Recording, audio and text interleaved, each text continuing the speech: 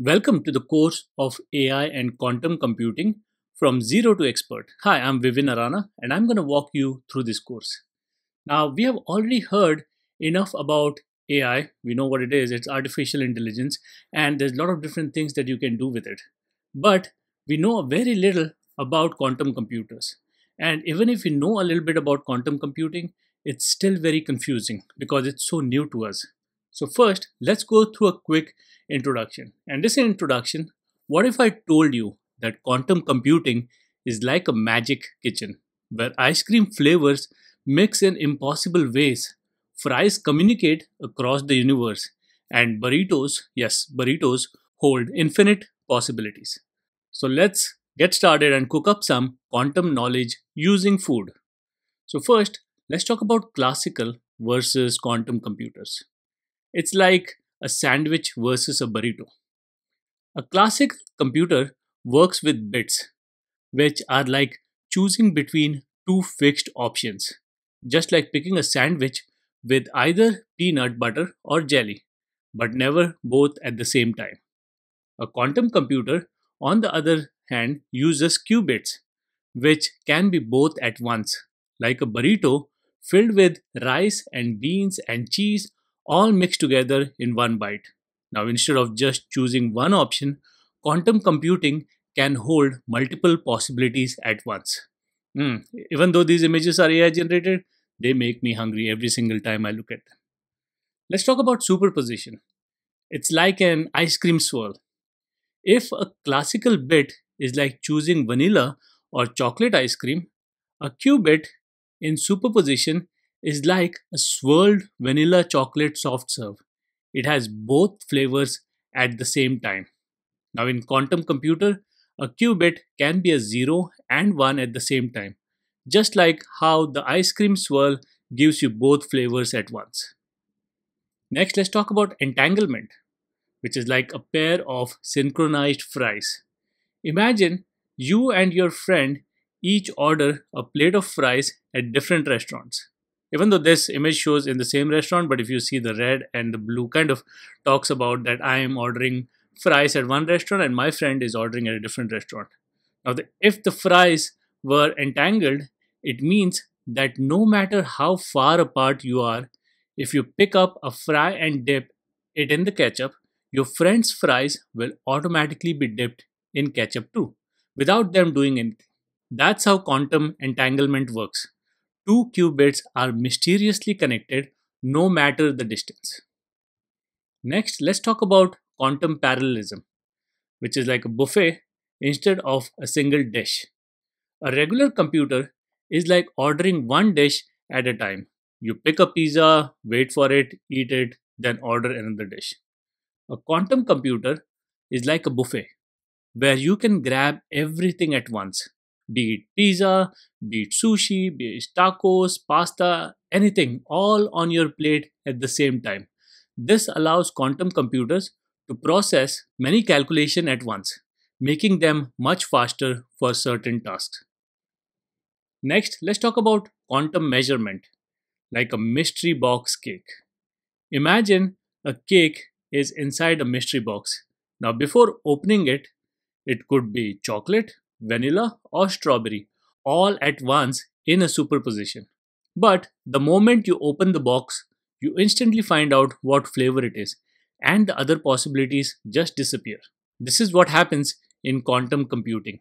When you measure a qubit, it collapses into a definite state, just like when you finally see the cake's flavor. Now, why is all this exciting?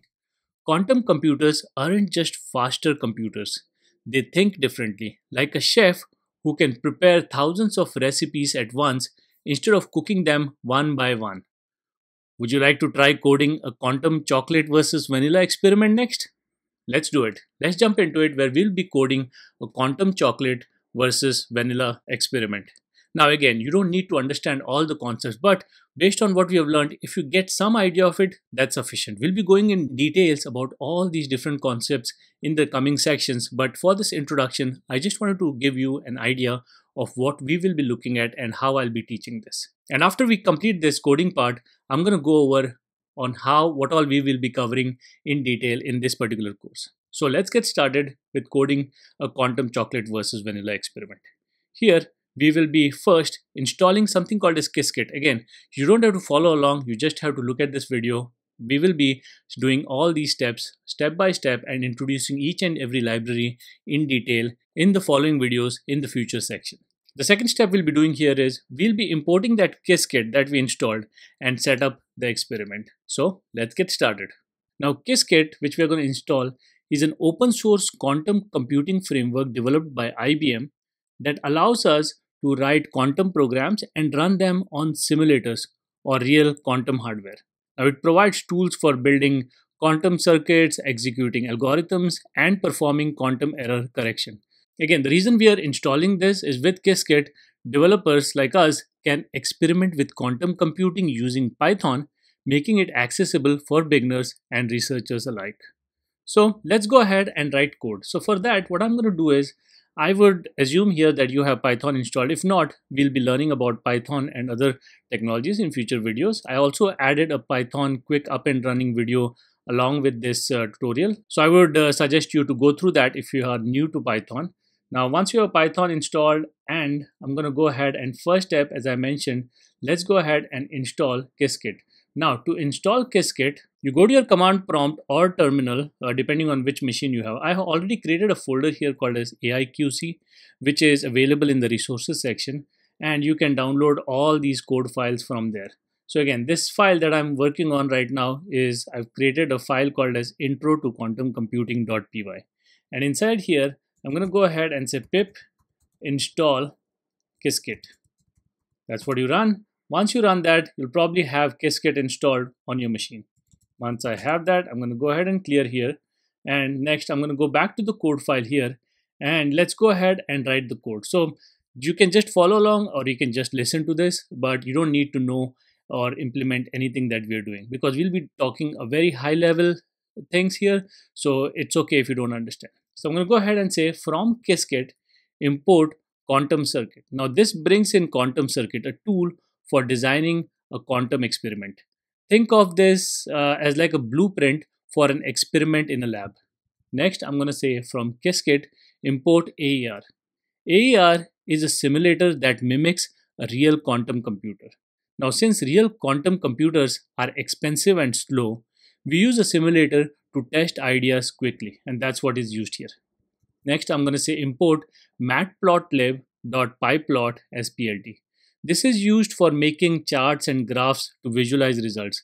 Just like Excel charts help you understand data, this helps us see quantum results. Next, let's go ahead and create a quantum circuit with, one qubit. So I'm going to say step one, create a quantum circuit with one qubit. And here I'm going to say QC equal to quantum circuit 1 comma 1. Now what's happening here?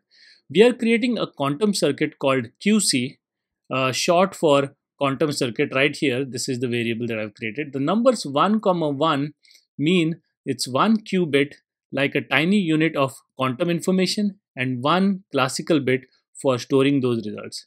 Imagine a single coin that can be flipped in a quantum way. That's what I'm doing here.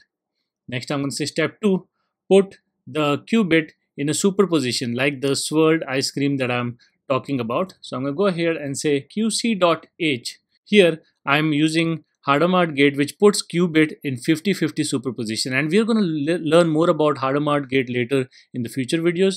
But what we are doing here is we are applying a Hadamard gate which is h to qubit 0. This makes the qubit exist in two states at once, which are 0 and 1. imagine you mix that chocolate and vanilla ice cream together. The qubit hasn't chosen one flavor yet. It's a mix of both. That's what we are doing here. Next, I'm going to say step 3 is measure the qubit, forcing it to choose chocolate or vanilla. So we are forcing it here by saying qc dot measure 0, comma 0. So what's happening here is we measure the qubit which forces it to decide whether it's 0, which in this case may be chocolate, or 1, which is vanilla. So before measurement, the qubit was in both states. In this particular case, in qc.h0, it was in both states. But once measured, it collapses into 1, either 0 or 1. Example can be, again, another example I can give you is if you shake a coin, it's in a blurry spinning state like superposition. The moment you catch it, it lands on heads or tails, which is measurement here. Next, let's go ahead and simulate the quantum experiment. For this, I'm going to say simulator equal to AER dot get backend AER underscore simulator. So what this line does is it picks a quantum simulator, a fake quantum computer in this particular case, using that AER library we have imported. Next, I'm going to say QC equal to qc.copy. This is copying the circuit. It ensures we don't accidentally modify our original design. Next, I'm going to say qc.save underscore state vector. This saves the quantum state before actual measurement happens. Then I'm going to go ahead and say job equal to simulator dot run shots equal to 100. Here it tells the computer that run the quantum experiment 100 times. You can increase it 1000 if you want to. Uh, it will be a little bit more it will take more time but again depending on how many times you want to run it you can run uh, saying shots equal to whatever number you want. Then count how many times we get chocolate which is 0 versus vanilla which is 1 and assign here. So we'll get those results. And those results i can just say result equal to job dot result. Uh, so once i have those results i can say counts equal to result dot get count. This retrieves the final results like a poll in our case so next go ahead and go ahead and visualize these results. Now to display these results that's why we have matplotlib if you've used that before you probably know what i'm talking about. If not it's a way to chart the data that we have. So let's go ahead and say flavors equal to for 0 it's chocolate. For 1 it's vanilla. Then i'm going to say labels equal to so i'm going to create labels uh, for my um, mapping for my graph. So I'm going to say flavor dot get key comma key for key in counts dot keys. So if I'm getting the data from there, my labels. Next, I'm going to say plot dot bar labels comma count dot values comma color brown gold. Now here I am uh, chart creating a chart. This makes a bar graph because I've said plt.bar showing how often we got each ice cream flavor. So it will display that for us. Next, I'm going to go ahead and add some labels. I'll say X label is flavor and I'll say Y label equal to count. Again, if you don't understand whatever I'm doing here, I'm going to run this in a moment and you'll see what this uh, shows up to be. So here again, X label, we labeled uh, the graph properly. We said X label is flavor, which is chocolate or vanilla. Y label is count, which is how many times each was chosen. Next, to give the title, I'll say plot.title quantum ice cream machine results and then to show the or showing for to show the chart I'll say plt.show this displays the final result for us so that's our entire application. So I'm going to save this. And I'm going to go to my command prompt or terminal. Make sure I'm in the right folder. You can just ls and see that you are in the right folder and this file is here. And here I can say python intro to quantum computing. Now depending on what machine you use you can say python or python 3 depending on how you have set up your python machine. Next I have results here. If you see, it's pretty much close 50-50 in this particular case. It will be different every time you run it. If I run it again, if you see this time the vanilla is stronger than chocolate, but again, it will display results based on how the machine selects the data out. So here we have created a quantum circuit with one qubit. We applied a Hadamard gate to put in a 50-50 superposition and then we measured the qubit forcing it to choose between 0 and 1 which is between chocolate and vanilla and we ran the experiment as you saw 100 times to get the results and then we plotted the results in the bar chart right over here. So I hope it was useful or just to get an idea of how quantum computing works or how easy it is to implement something in quantum computer. Now again, to learn more on the details of it, you'll have to follow along with the rest of the videos where we will be learning First section will be on introduction to AI and quantum computing. Whatever we did just now was just a sample, but we'll be going in much detail in both AI and quantum computing. In section 2, we'll be looking at artificial intelligence deep dive. So after the introduction, I always like to go into a little bit deep dive and do uh, learn more about a particular topic. Next, the quantum computing deep dive. So in section 3, we'll be covering quantum computing deep dive. In section 4, we'll be looking at how artificial intelligence and quantum computing work together. So we'll see how we can use both of them together. Section 5, we'll be looking at some advanced applications based on whatever we have learned in the first four sections. If you have any questions for me, let me know in the messages and I'll get back to you.